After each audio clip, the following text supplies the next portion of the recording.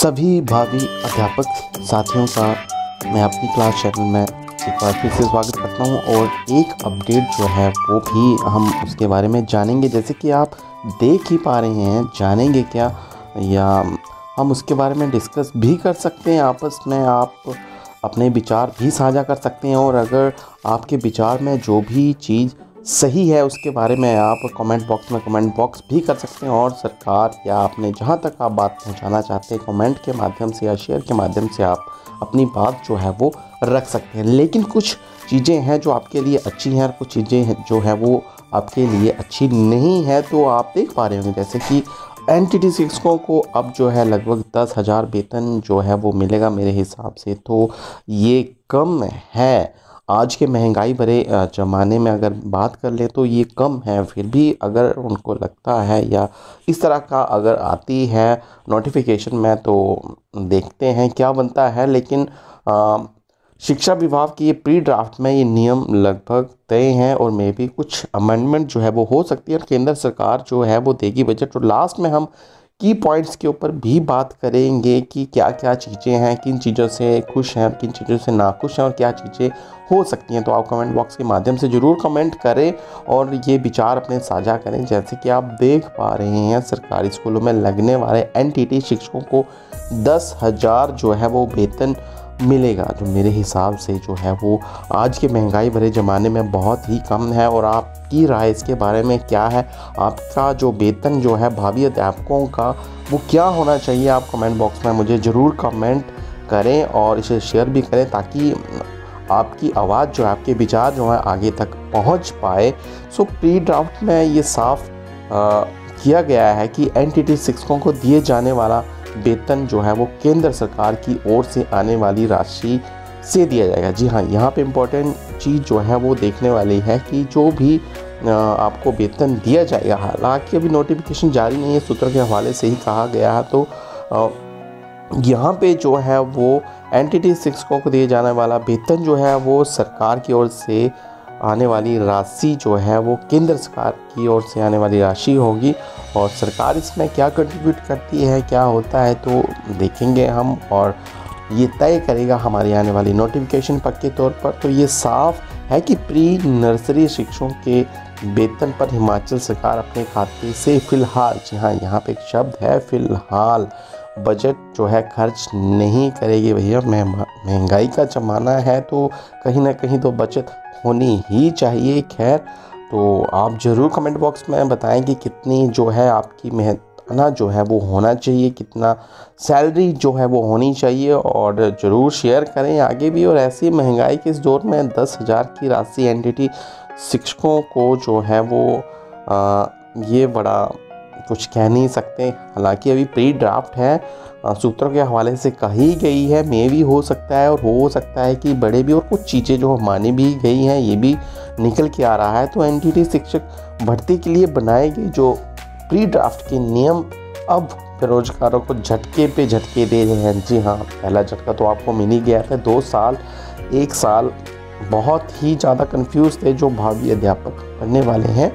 तो खैर, उनके हक में ये फ़ैसला हो। हमारी भी यही इच्छा है। हमारी तरफ़ से शुभकामनाएँ हैं, क्योंकि हम इस महँगाई भरे ज़माने में और इतने टाइम से आप लोग पेट कर रहे हैं तो कुछ ना कुछ तो आपके लिए होना ही चाहिए। तो आपके लिए शुभकामनाएँ मैं दूँगा। और एक छोटी सी आपसे रिक्वेस्ट है कि आगे भी इस तरह की अपडेट के लिए और एचपी बोर्ड और स्टडी मटेरियल और इस तरह से अध्यापकों के से जुड़े इन मुद्दों के लिए आप ज़रूर अपनी क्लास चैनल जो है सब्सक्राइब करें, अपने बिंदास अपने विचार रखें, शेयर करें, बताएँ। हो सकता है कि आपकी बात जो है कहीं ना कहीं पहुँचे और वो जो है आपके हक में जाए। तो एन भर्ती के लिए दो साल के डिप्लोमा के बीच का ये रास्ता जो है अब सरकार निकाल रही है। सरकार की माने तो हिमाचल में जिन लोगों ने एक साल का एन कोर्स किया है, जी हाँ ध्यान रखें। एक साल का जिन लोगों ने कोर्स जो है वो किया हुआ है, उनके बारे में कहा गया है, उन्हें राहत देने का प्रयास किया जाएगा। जी हाँ ये आपके लिए खुशखबरी है और हमें भी ये बताते हुए आपको अच्छा लग रहा है कि वाकई में बहुत सारे लोग जो बहुत तेज हो चुकी है तो बहुत दिक्कत होती है भैया इस महँगाई भरे ज़माने में। तो इसमें ऐसे लोगों को राहत दी जाएगी जिन्होंने एन सी टी यानी कि नेशनल काउंसिल टीचर एजुकेशन के पुराने आदेशों से। जी हाँ इनके तहत जो है वो आ, इनके तहत जो है वो एक साल का जो है वो कोर्स जो है या डिप्लोमा जो है वो किया होगा तो उनको राहत है। जी हाँ एन भर्ती का इंतज़ार कर रहे मेरे भाई मेरे युवा भाई जो है और यह आप लोगों को समझना भी होगा कि एनटीटी के नए आदेशों के बाद भी किसी ने अगर जी हाँ किसी ने अगर एक साल, अगर एक साल का डिप्लोमा जो है वो किया होगा, उनके आदेश पारित होने के बाद, यहाँ पे ध्यान देने वाली बात है कि अगर वो आदेश उनके हुए थे तो उनके बाद अगर फिर भी किसी ने एक साल का अगर वो कोर्स किया है तो उनके लिए समस्या पैदा हो सकती है। तो होप आप लोगों ने ऐसा ना किया हो तो वो इस भर्ती के लिए मान्य नहीं होंगे। ये थोड़ा सा झटका देने वाली बात है। सो झटके पे झटका, जैसे कि बता रहे हैं सूत्रों के हवाले से या आपके तो वहीं नए आदेशों से अगर पहले एक साल की एनटीटी कोर्स युवाओं के लिए भर्ती में मान्य होगा। और गौर करें, यहाँ पे और एक और चीज़ है एनटीटी के नहीं बनेंगे आरएनपी रूल्स तो आरएनपी रूल्स के बारे में अगर मैं थोड़ा सा आपको बता दूँ तो जो भी जॉब्स हैं, जैसे आपके टीजीटी रख लीजिए, या फिर और भी एजुकेशन डिपार्टमेंट में जितने भी कैडर हैं जेबीटी रख लीजिए तो उनके जॉब के लिए जब भी जो है वो नियम बनाए जाते हैं that is R N P rules जो बनाए जाते हैं, उनके अकॉर्डिंग जो है वो एम्प्लॉज़ को जो है सुविधाएँ दी जाती हैं कि ये होगा, ऐसे होगा तो एन के लिए ऐसे कुछ भी रूल्स नहीं बनाए जाएँगे। तो ये थोड़ा सा आपके लिए टिस पॉइंट है कि उन रूल्स के अकॉर्डिंग जो आर एन पी रूल्स के अकॉर्डिंग जो आपकी भर्ती नहीं होगी सो यहाँ पे थोड़ा सा झटका लग रहा है। क्या बहरहाल आपकी ये सब कुछ क्लियर हो जाएगा। थोड़ा सा आप वेट कीजिए, आप बने रहिए।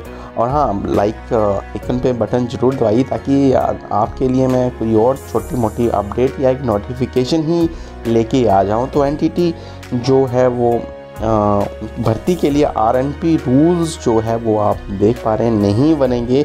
और एन सी टी गाइडलाइन के तहत, जी हाँ यहाँ पे ध्यान दीजिएगा एन सी टी की गाइडलाइन के तहत जो है वो सीधी भर्तियाँ होंगी और ये साफ़ है कि आउटसोर्सेज के माध्यम से ही होने वाले इन भर्तियों के लिए जो है वो गवर्नमेंट जो है आपसे ज़रूर आवेदन मांगेगी। यानी कि आउटसोर्सेज के बेस पर ही आपकी भर्तियाँ होंगी, लेकिन उनके लिए आपसे आवेदन ज़रूर मांगेंगे। इट मीन्स इसका सीधा मतलब ये हुआ कि नोटिफिकेशन जो है वो जल्द से जल्द निकलेगी राइट तो थोड़ा सा आगे बढ़े हम तो इससे पहले कि एन भर्ती के लिए नियम में जो जो प्रावधान किया गया था, उसमें साफ़ है कि यह भर्ती आउटसोर्सेज के माध्यम से होगी। जी हाँ ये यहाँ पे बात क्लियर है। बाकी देखिए नोटिफिकेशन क्या कहती हैं। यही इस भर्ती की प्रक्रिया में भाग लेने वाले आवेदक जो है रेगुलर के लिए क्लेम नहीं कर सकेंगे। जी हाँ यहाँ पे और भी एक झटका है। यही इस भर्ती प्रक्रिया में भाग लेने वाले आवेदक जो हैं वो रेगुलर होने के लिए क्लेम नहीं कर सकते। भैया, वाकई में अगर आउटसोर्सेज हैं तो आप कैसे रेगुलर होने के लिए क्लेम करते हैं? बहुत संघर्ष करना पड़ता है। इससे पहले भी आप देखते होंगे न्यूज़ में या कहीं भी किसी भी माध्यम में कि बहुत सारी कैटेगरी एजुकेशन डिपार्टमेंट में, जो थी शिक्षा विभाग में चाहे आप किसी भी की बात कर ले पी की बात कर ले तो कितना टाइम लगा उनको कितना संघर्ष करना पड़ा उनको पैर पैरा कितनी सारी कैटेगरी उनको आ, उनके लिए फ्रेम की गई तब जाके वो रेगुलर हुए। तो बहरहाल फ़िलहाल आपके लिए यही है। तो ये बाकी नोटिफिकेशन आने के बाद जो टोटली क्लियर हो जाएगा तो उसके लिए आप ज़रूर अपनी क्लास चैनल जो है वो सब्सक्राइब करें। और यहाँ पे जो है आप कमेंट बॉक्स के माध्यम से अपने विचार जो है रख सकते हैं साझा कर सकते हैं अपने विचार पहुँचा सकते हैं। हो सकता है कि आपके विचारों को देख के, सुन के जो है वो कुछ हद तक आपके हक में जो चीज़ें चाहें सो फ़िलहाल एन गाइडलाइन में की ओर से बहुत सारी चीज़ें जो है वो बाहर अभी आने बाकी हैं। देखना होगा कि उसमें कितने अभी झटके लगने बाकी हैं। खैर सो जो की पॉइंट्स हैं जिनकी मैं बात कर रहा था, उनके बारे में भी मैं आपको बता दूँ तो वो सबसे बड़ी चीज़ है कि आउटसोर्स पर रखे जाएँगे। वो आपको पहले भी बता चुका हूँ मैं। कि जो भी हैं वो आउटसोर्सेज पे रखे जाएँगे और एक साल का डिप्लोमा जो है कुछ शर्तों के साथ होगा माने ये आपके लिए बहुत बढ़िया चीज़ है। ये सही में जो मान्य होंगे, लेकिन कुछ शर्तें जो हैं इसमें रहेंगी। वो शर्तें क्या हैं, डिटेल में नोटिफिकेशन आने के बाद ही हम बता सकते हैं, उन चीज़ों को देख सकते हैं। तो होप आपके लिए एक बहुत अच्छी वो चीज़ जाए और एन भर्ती के नए नियमों से बहुत सारे जो भावी अध्यापक हैं वो मेरे हिसाब से नाखुश हैं और आप ज़रूर कमेंट बॉक्स में कमेंट करें और ये न्यूज़ अपने से नहीं था, ये सूत्रों के हवाले से ही था तो आप इस चीज़ का भी ध्यान रखें। बाकी आने वाली चीज़ें आपके हक में जाएँ, यही हमारी इच्छा है, यही हमारी एक भगवान से दुआ रहेगी कि आपके हक में फ़ैसला हो। सो होप आप को वीडियो की जानकारी अच्छी लगी हो और शेयर करें और आगे बने रहने के लिए सब्सक्राइब ज़रूर करें। So thank you and have a nice day